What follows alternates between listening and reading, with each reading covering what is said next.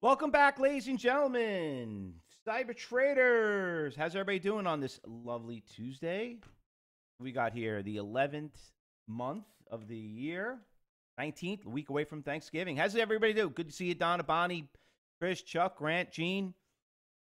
Good to see you all. Ken, David, Benito, it, Andrea. Good to see you all. All right, guys. So um, I'll tell you, yesterday, you know what? We did it again. We did it again. KRTX. Are you kidding me? I mean, when was the last time did you guys see a stock go from 20 to 100? I know when. Two weeks ago, right? What was the stock that we traded two weeks ago that went from uh, went from 30 to like 100? Was it three weeks ago? Unbelievable. Uh, can you pump up your volume? Sure, I could. Absolutely. You're right. There we go. It must sound a little bit better now.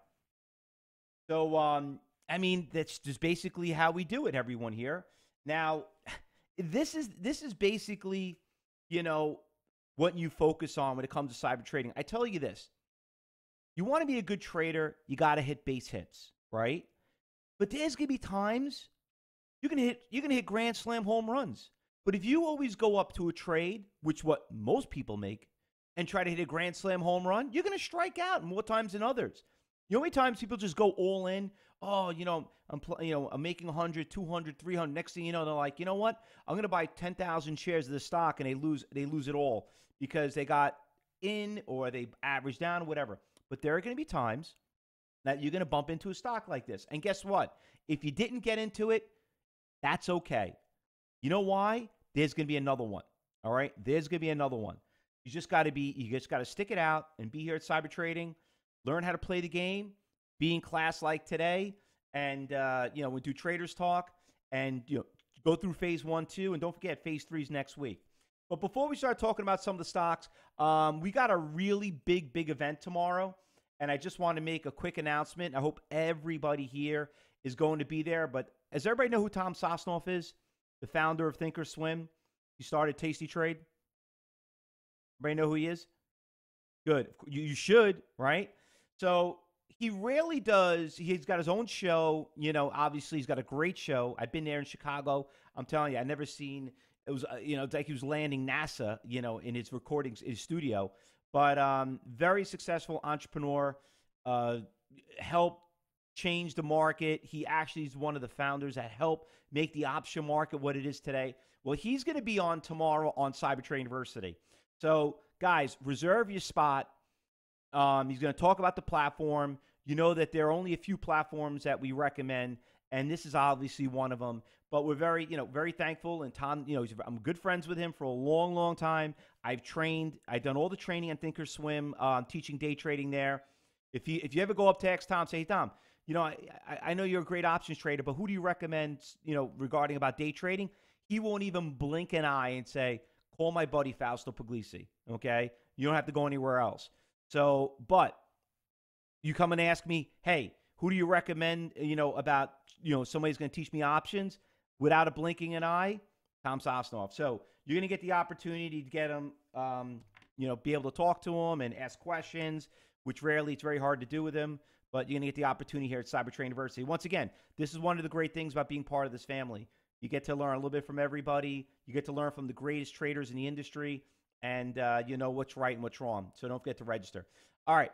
Now, regarding about that, let's talk about what traded yesterday. I mean, I don't even need to go any further than this KRTX, but you know what? We need to because yesterday actually was a very, very shockingly good day. Okay.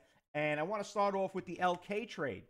We've been doing really, really well with the with the with baby Starbucks. You know, the Chinese spinoff of Starbucks. Uh, company went public, broke all-time highs. You could see in the last couple of days, 22 to 30. Yesterday had a really, really nice rally. Um, you know, right in you know, right around the open. Great moving stock. You know, another very, very one of the very few stocks that are actually doing pretty well in the IPO market. Um, and another one that you guys traded very well that we did well was uh, was uh, Pelican, Peloton. Um, there's another IPO just broke all time highs yesterday for the first time. You listen. If you're interested in that bicycles and the, the, you know what they do and everything, shockingly, like to me, I'm like, I don't know. This is like a fad, you know. I, I don't know if it's really going to be a thing, but I don't. As a trader at Cyber University, we don't teach you to think. You know, we teach you how to trade. okay, that's really what it comes down to. It. You know, you don't you don't think.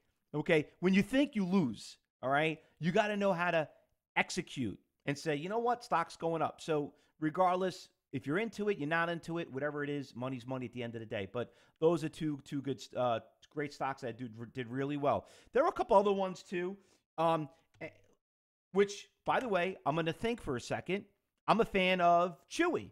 Okay, I buy, you know, I got a lovely cat, Chloe. You know, kind of greatest pet in the world. Okay, you're probably going to see her in one of my videos sometimes. But uh, but I buy my food through Chewy.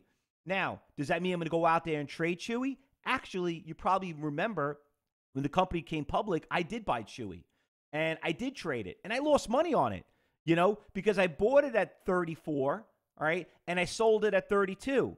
Guess what? It's at 22. Okay, so the 32 the 32 dollar trade was actually not a bad loss. It was a phenomenal loss, great loss. Okay, it was a great loss because it could have got crushed. But if I let my best get at uh, best get get to me and says, "Oh, but it's a great company. I love their product. I love their commercials." You know what? Doesn't work that way. This stock, listen, when you break all-time lows, you know, you do, do the math. Couple other good ones that did pretty well too. Uh, we got that one, that one, uh, QD. There was a couple other ones. I don't want to bore us with it, but that thing just tanked too yesterday. Great, great short right there. That stock went from 760 down to five, almost six bucks right there. All right, but with that said, guys, um, let's go on talk about what's going on this morning because there are a couple of good stocks uh, that are moving. Now, remember the just remember one thing. Yesterday, the KRTX, okay, you can go and check yesterday's morning watch list, and guess what? That one stock was the first one on the list.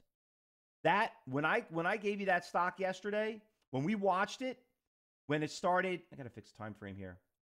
When we saw it at nine o'clock in the morning, it was 30 bucks. Okay? Right out of the gate, 30 to 60. You know what? Freak things happen. You got to be at the right place at the right time. It just happens. The money truck stopped, broke down, broke in front of you, the gates open. You know, you thought you were going to get a couple of bucks. Sure enough, you killed it right there. So Make sure you subscribe to our YouTube channel, our Twitter channel, you know, uh, a Twitter feed, everything. But um, but this basically was, you know, our best trade so far of November. I- am going to give you that. All right. So anyway, what else? Uh, I want to bring up some of the good stocks. Everybody got their pen and paper ready? Okay, let's start off with the SAEX. So we saw this one make a really nice move in the after hours yesterday. Ran from $1.50 all the way to about 450 Stock right here is, is, uh, is checking the resistance levels. Million shares up 184%. Um, it's got it. You know what? It it's up a, a little too much than I would want, but it's holding right here at that high, so it's not a bad moving stock. So that one is not. You know, I kind of like it. It's um, pretty good. So that one to keep an eye on it. MDCO, another one, a blast from the past. Now, remember here at Cyber Trading University, we teach you guys how to take read your journals, right? You got to read your journals. You got to take good notes. We teach you how to do that in class. Go back to MDCO. You know we traded it back in um, August, okay? Go check on it because we traded went from 30 to about 50. See what the trend was. See how you traded it. See if, who the dominated market brokerage firms were. See if they had nasty shakes. Everything. But it is expensive now, but it is breaking all time highs. And we all know what happens when you break all time highs. One stock I, I, I want to just do a little uh, a little tip of the day, a little training. Okay, this stock was awesome this morning in pre-market, and uh, if you if you if you logged in early, you, you did really well on this trade. The the uh, the VKTX now, if you notice the stock gapped up pretty well from 840 to 740, and I just want to make out a point right here. We all know what Cyber University is well known for, okay? And it's what we're very well known for. And a lot of you always join Cyber Trading University for this one main reason, not other than we're, you know, endorsed by more brokerage firms than anyone. And we've been in business longer than anyone. But it's about the level three and the level four. Okay. It's funny when I talk about those two things, people like, holy crap, now it makes all sense. Well, guess what? I'm to bring this over here really quick. Okay. Now, look at the look at the resistance level. 22,000 share seller at 870. Remember I told you around this morning, hey guys, be careful. Um, all the way up to about 8:30, get out if you made that money early in pre-market and get out. Guess what? That seller was out there that whole time, never went past that 22,000 share seller. What do we call that? An iceberg order. Bam, thing dropped down to 820. Remember, what do we teach you here? Follow the money. Okay, guys? All about orders. It's not about Fibonacci's and and moving averages and MACDs and RSIs and you know all those other crystal ball indicators out there. It's all about following the money. So anyway, just wanted to talk about that one. All right, let's go through another watch list on uh, stocks. MYOV. Okay, this thing is moving great. Um, this one was probably one of my favorites in pre-market already. It just made a great pop right here. Neil, Neil just made a buck three.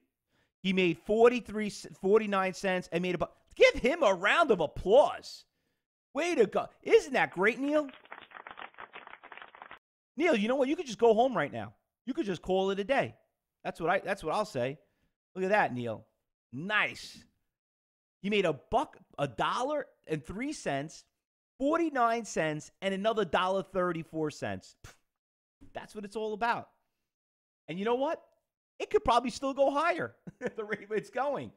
You know, it, it could probably go higher. Remember, it was a $26 stock at one point. But this one so far has been the best. Way to go. That's great. I love to hear that. Making the money before we'd even get why people are still sitting on the sidelines waiting. My broker didn't open up yet. He wouldn't let me trade.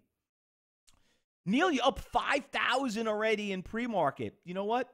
Give him a round of applause. Actually, I'm going to give you I'm going to give you an electric guitar. That's a big announcement right there.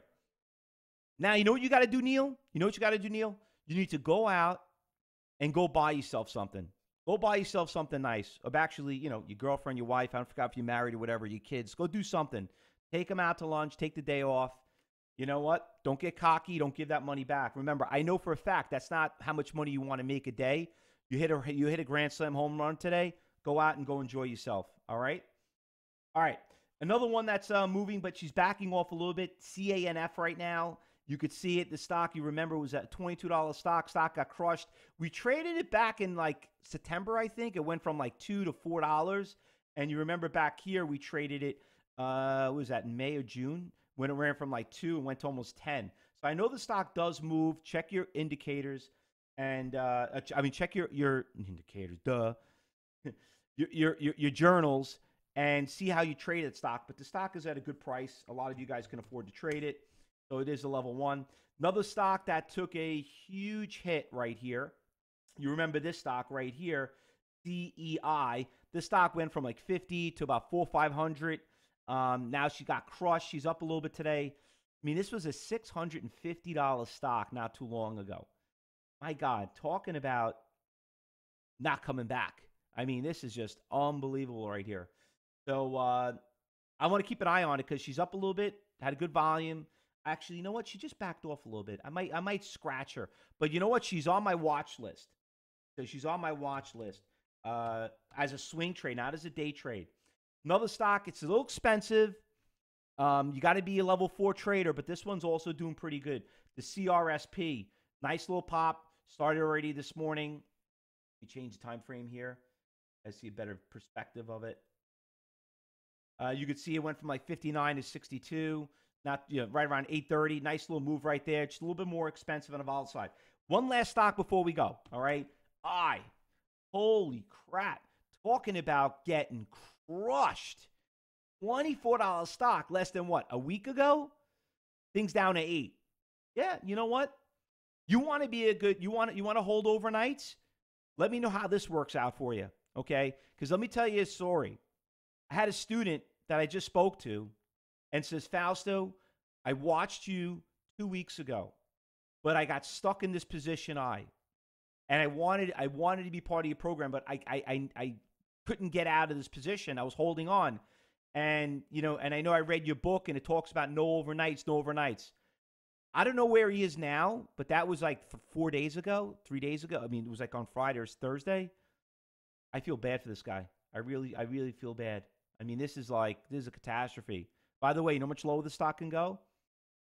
Was there a number called zero? Terrible. You know, listen, everybody want, thinks that you know day trading is risky and everything. Yeah, you know what? Try swing trading. Try to buy this thing. You worked your whole life, you're saving, and you wake up one morning. At least when you're day trading, you make your day's pay, you lose your day's pay, you know, if it's 200, 500, because then you'll be like a guy like Neil, and then you know what? You get it and you make 5,000. But you know what? You wake up one morning, you think, ah, you know, it's more conservative, this and that. Next thing you know, you wake up, boom, look what happens to stock like this. And it happens all the time. All right?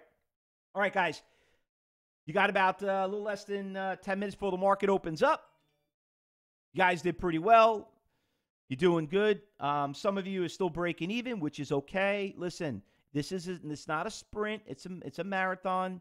Just learn, and then you know what? You'll be just like Neil, and you make the five thousand on that trade. Ken just made twenty seven cents on the SAEX. There you go. That's what I'm talking about. All right, guys. Good luck today. Happy trading. Once again, do not forget the um, we got Tom Sosnoff that's coming on, and uh, tomorrow. I know everybody wants to you know wants to try options. They want to learn it. You know what? You got to listen to the experts first and hear what they have to say. So make sure you all register for the event, and then also don't forget you got Josh today with closing bell. All right, guys. Good luck, everyone. Happy trading. And uh, we'll start the commentary in about uh, 10 minutes when the market opens up, and then we'll do the 2.30 meeting and trade going to the close. Good luck, everyone. And Neil, I, I, I expect you to be logged out and go out and, and send me an email and tell me what you bought uh, today, all right? Because that's what it's all about. Enjoy it. Congratulations. Good luck, everyone.